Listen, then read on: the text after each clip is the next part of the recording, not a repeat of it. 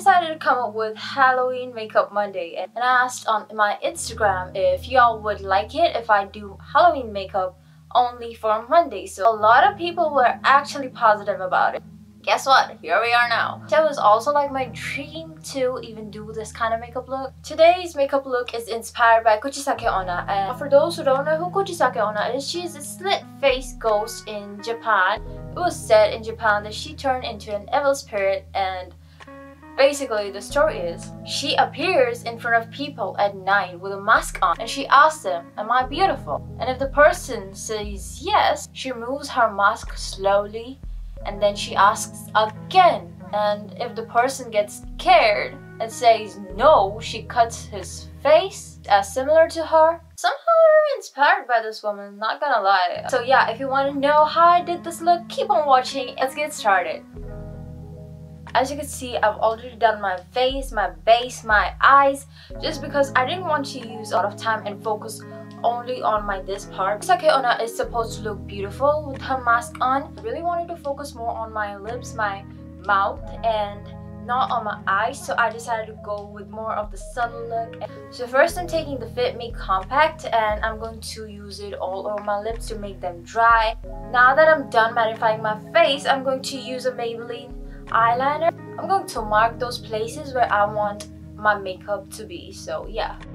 I'm just taking some school glue and try to glue this part of my face. So remember to use non-toxic glue because it's really near your mouth. After that, I'm taking any normal cotton swab, putting it up with some cotton and letting that stick in my mouth. Now, I'm not somebody who does VFX on a lot of times. I'm very new to this. Like, I'm taking some glue onto my hands, using my fingers. I'm just going to put it all over this part. Using this near those parts.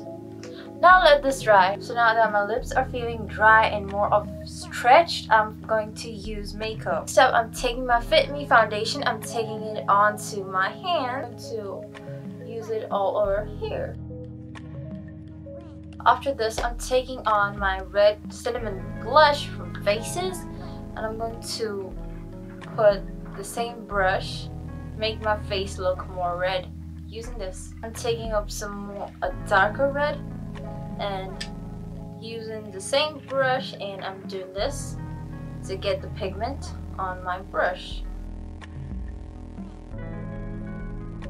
Going ahead with an eyeshadow which is red and I'm literally creating lines with my flat brush. Next up I'm taking some lipstick and using it directly onto my lips.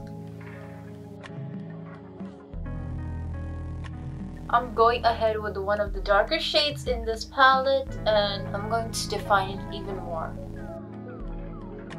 With a darker lipstick, I'm going to darken my lips more. Going to use a liner onto my face. Yeah i'm taking some more of the black and defining those edges which i created black right now to continue these lines.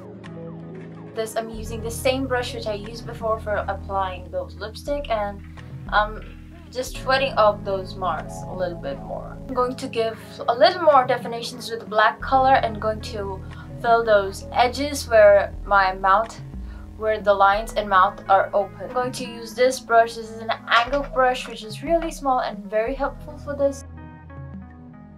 Yeah, this is the finished look. It's like the first time I've tried something with VFX and I'm not a VFX artist because I am more of the glamorous type of person and this is something that I've tried and I really like this. If you like this video, please give it a thumbs up and subscribe to my channel if you haven't already and see you next time.